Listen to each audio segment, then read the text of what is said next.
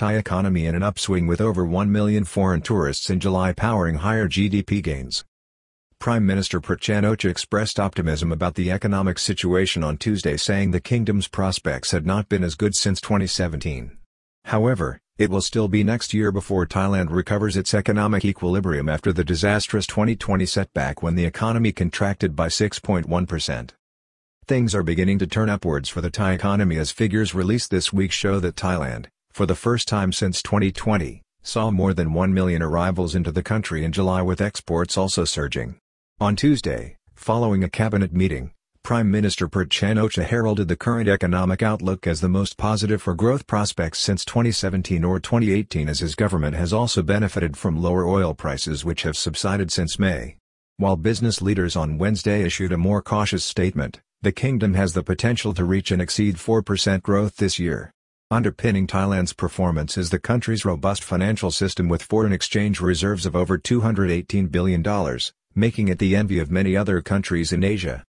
Prime Minister Prayut Chan-o-cha, right, on Tuesday said that the prospects of economic growth in Thailand were the best they've been since 2018 or 2017 after a cabinet meeting at which Minister of Finance Arkhom Term Pittai left, outlined the government's borrowing plans up to the end of the fiscal year at the end of September with exports and household income all up substantially. It came just before figures announced by spokesman Thanakorn Wangboonkongchana revealed that Thailand hit over 1 million foreign tourists in July with the sector set to drive economic growth in the last half of the year which could see 10 million arrivals and an extra 2% in growth achieved on top of a projected 3.3% growth rate for the year.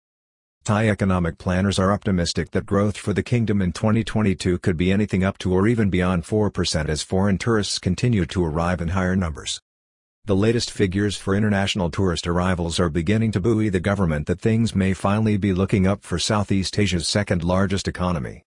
Highest level of visitor number since early 2020 with over 1 million foreign tourists arriving a month. Figures released on Tuesday show that from the start of this year to the 26th of July the kingdom recorded 3.12 million visitors.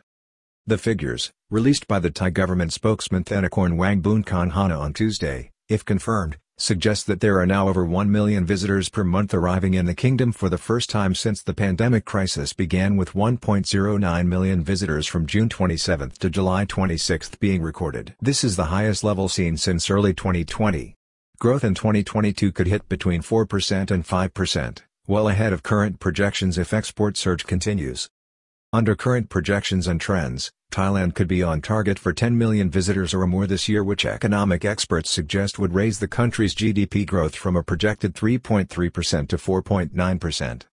This could be possible if exports continue to perform well and domestic economic confidence is not dampened by inflation which will only peak in the months to come. The news is also coming amid more encouraging data from the economy with farming incomes reported to have risen by over 16% in the second quarter of 2022 and non-farm incomes up by 9.2% as the economy has gotten back in gear despite record high inflation of 7.66% reported for June. The country is also projected to see export growth this year at 7% beating an earlier assessment, some weeks ago, of 6 backdrop of external threats which could see another spike in energy costs and even higher inflation.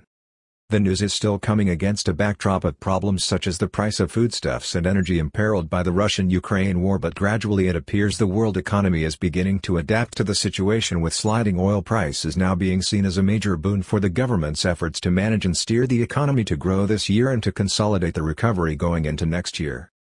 However, business leaders remain cautious because of the threat of inflation and a darker economic outlook outside Thailand.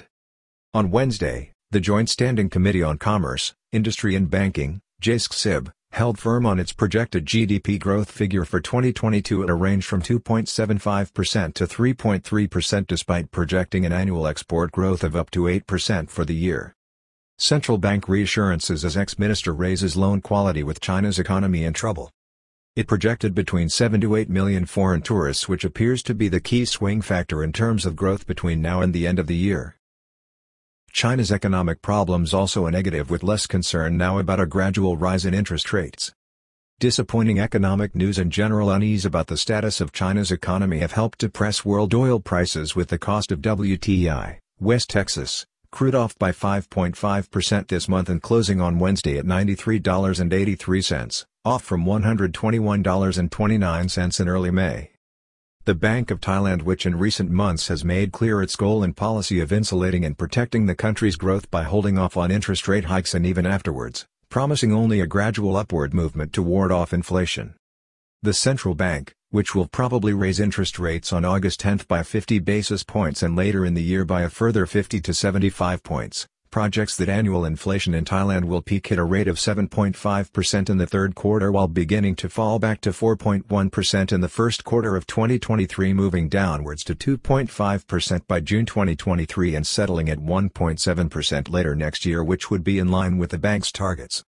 The bank's governor, Sethaput Suthiwartnarueput, has also signaled that the forthcoming rise in interest rates will not so negatively impact borrowers in the kingdom as 60% of Thailand's loans are at fixed rates while the interest rate increase being passed on to the market will be only in the order of half a percent by the end of 2022. Central bank boss urges borrowers to consider taking on debt more carefully going forward as rates rise. He did concede that it would be prudent for prospective new borrowers to think carefully before taking on loans as the bank is trying to rein in the country's chronically high levels of household debt. Bank of Thailand governor emphasizes that interest rates and liquidity are not issues, private sector debt is. New borrowers would be affected by rising interest rate, so they should consider income and debt payment capability before applying for a new loan, Governor Sethaput explained. The bank has consistently pointed out that despite the widening spread between interest rates in the kingdom and Federal Reserve rates in Washington, capital has not taken flight from the country which maintains strong and sound financial fundamentals. There is also an increasing belief that the Federal Reserve may moderate its hawkish stance although it will certainly raise interest rates by up to 1.5% more this year thus widening further the spread between the Thai rate.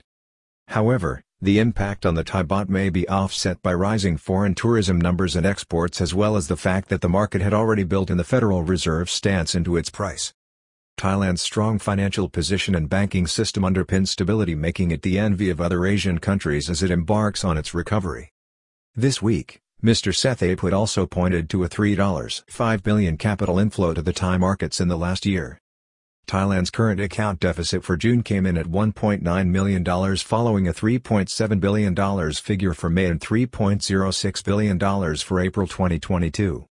It remains to be seen if the figure for July will show a marked improvement with higher foreign tourist arrival numbers so far, a stronger export performance and reduced import costs.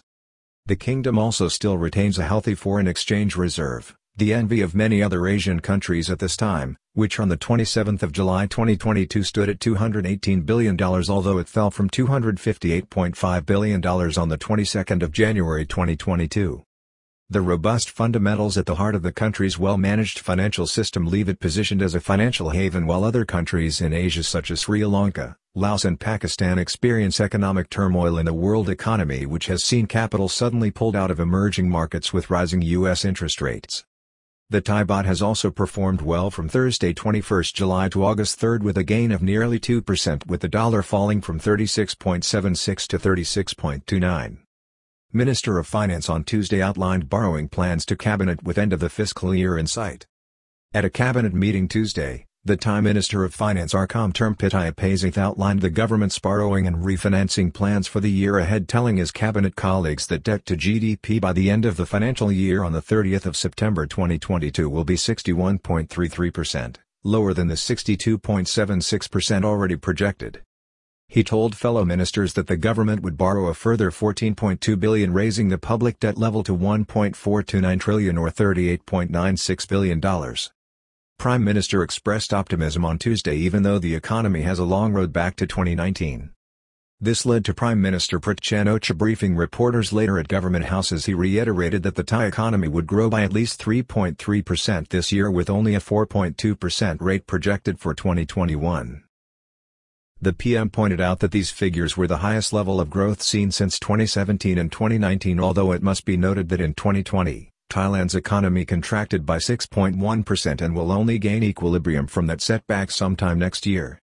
The government leader, who could well be fighting an election at the end of the year, highlighted that his figures were based on 6 million foreign visitors being seen in Thailand which now looks like it will be 10 million at least, an outcome which will generate a further 1.6% in GDP growth terms.